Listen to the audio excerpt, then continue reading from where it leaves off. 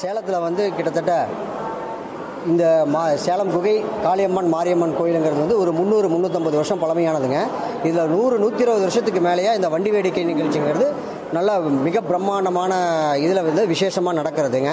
இப்போ வந்து இந்த காலப்போக்கில் இந்த லைட்டிங்ஸ் எல்லாம் வந்ததுக்கு முன்னாடி இருந்தே மாட்டு வண்டியில் போனதுலேருந்து ரொம்ப பிரபல்யமாக கொஞ்சம் கொஞ்சமாக டெவலப் ஆகி இன்றைக்கி வந்து ஒரு வண்டி வரணும்னா லைட்டிங் எல்லாம் போட்டு கொண்டு வர அளவுக்கு ரொம்ப ஃபுல்லாக டெவலப்மெண்ட் பண்ணியிருக்கோம்.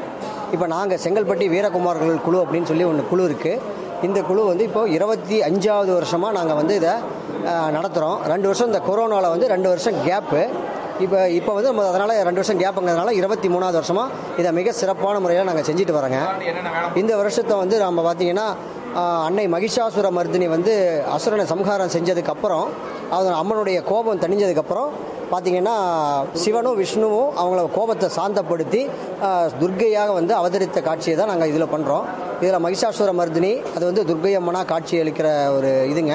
மகிஷாசுரன் ஒன்று சிவன் விஷ்ணு. மொத்தம் நாலு வேஷங்கள் நாங்கள் போட்டு இப்போ வந்து கோயிலுக்கு நாங்கள் கொண்டு போய் இப்போ வந்து சமர்ப்பிக்க போகிறோம்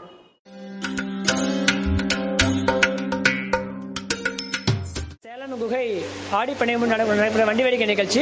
இந்த வண்டி வேடிக்கை நிகழ்ச்சியானது நூற்றாண்டை கடந்து நடந்துட்டு இருக்குது.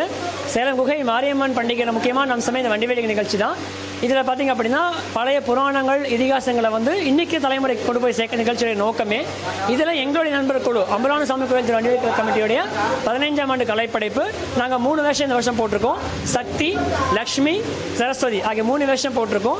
ஸோ வண்டி வேடிக்கை அப்படிங்கிறது ஆசியாவிலேயே ஒரு நூற்றாண்டை கடந்து நடைபெற்ற நிகழ்ச்சினா இந்த நிகழ்ச்சி தான் இந்த நோக்கம் என்ன அப்படின்னா புராணங்கள் இதிகாசங்கள் நம்ம கேள்விப்பட்டிருப்போம் படிச்சிருப்போம்.